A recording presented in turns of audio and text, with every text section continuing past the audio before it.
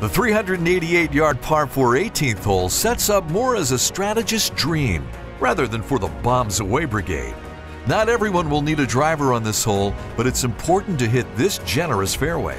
The hole doglegs fairly sharply left, and the player is greeted by all sorts of streams, waterfalls, lakes, and colorful extravaganza. A middle to short iron into the green brings birdie into play and allows for finishing hole drama.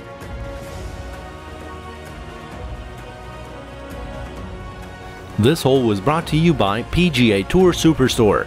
If it's on tour, it's in here.